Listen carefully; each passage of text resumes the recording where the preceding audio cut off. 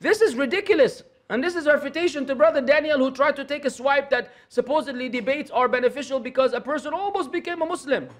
La ya habibi, la habibi, we're not noobs over here, nor are we boomers. If we're gonna go tit for tat, habibi. As Allah says, all these arguments and all this nonsense, and then, then, then this whole campaign of du'at who, whose whole da'wah is, is, is, is philosophy. Everything is philosophy. Yeah, Sheikh, you get a headache from the amount of information going back and forth. Allah Azza wa Jal refuted all of these people because we already know we have the Quran. And believe me, if the Quran is not good enough for them, wallahi, there's no goodness in them.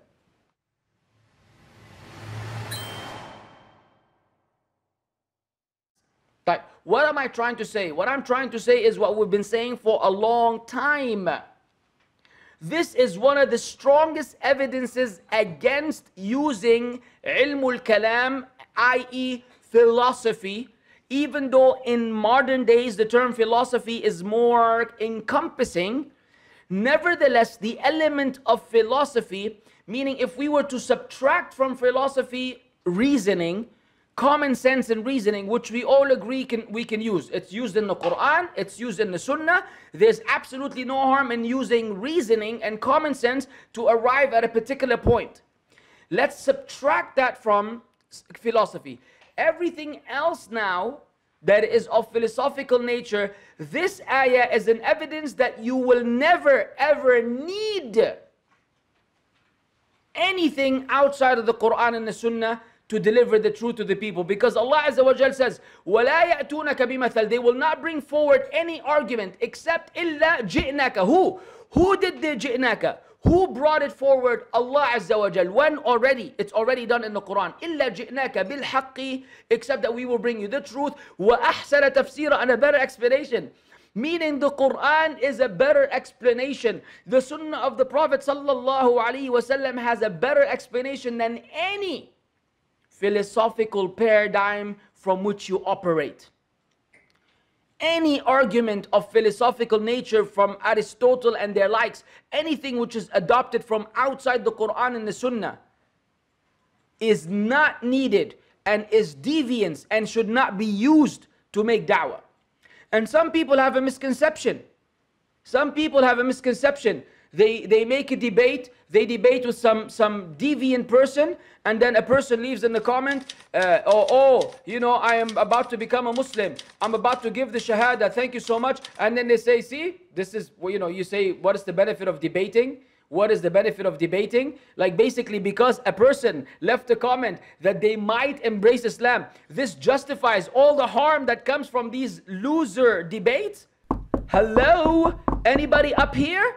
Are you kidding me? I give you a, a, number of answers. Number one, in Islam, we have the concept of manafi' and mafasid. Masalih and mafasid. Manafi' and darar. There's the benefit and the harm. There's the advantage and disadvantage. Allah told, told us, يَسْأَلُونَكَ عَنِ الْخَمِّرِ وَالْمَيْسِرِ They ask you concerning wine and gambling. قُلْ فِيهِمَا إِثْمٌ كَبِيرٌ Say in them, there's a great sin. وَمَنَافِعُ لِلنَّاسِ And there's also benefit for the people. Then Allah said, وَإِثْمُهُمَا أَكْبَرُ مِن نَفْعِهِمَا But, but their, their uh, harm exceeds, is greater than their benefit. Their sin is greater than the benefit. Therefore Allah Azza wa Jal made it haram. Allah made gambling and alcohol and wine haram. Even though Allah said that there's manafi' linnas, there's goodness in them. So yes, yes, possibly some lost soul might find Islam through a debate.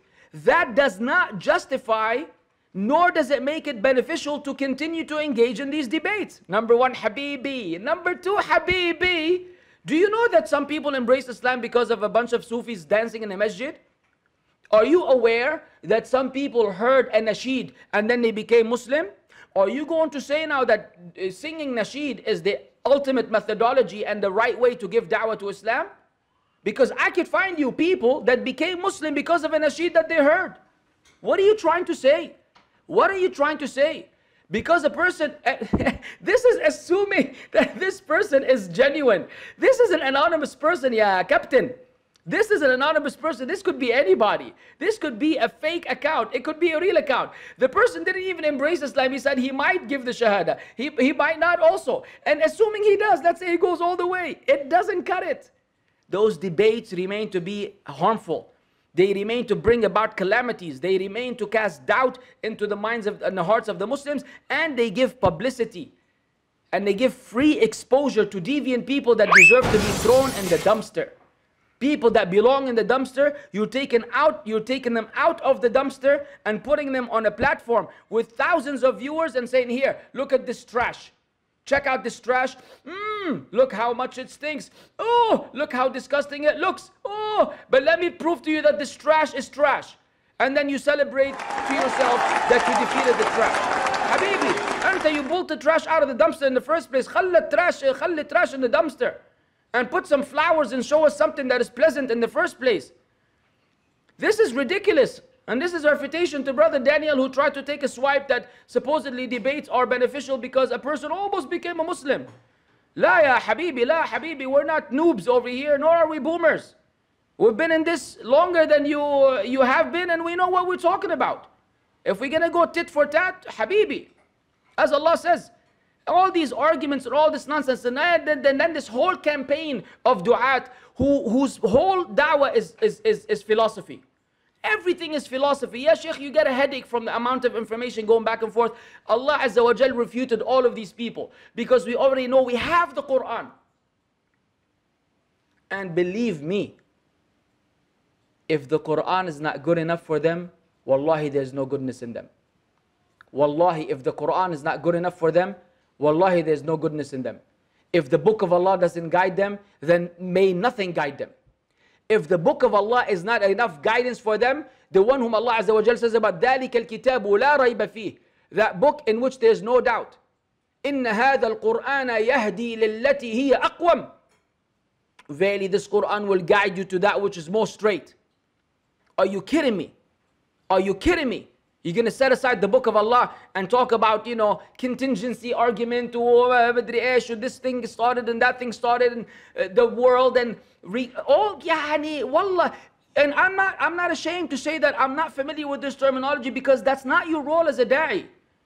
Your role as a da'i is to know how to cite an ayah from the book of Allah. Your, your role is to know how to cite a hadith from the Prophet not to read the books of philosophy so you can come and give us another philosophical presentation Anytime someone tells you, brother, but yeah, wallah, there's no harm, say there, no, there is a harm. Allah says in the Quran, وَلَا يَأْتُونَكَ بِمَثَلٍ إِلَّا جِئْنَاكَ بِالْحَقِّ The haqq is in the book of Allah and جِئْنَاكَ is already done. Meaning it's already been delivered to the Prophet ﷺ and ended.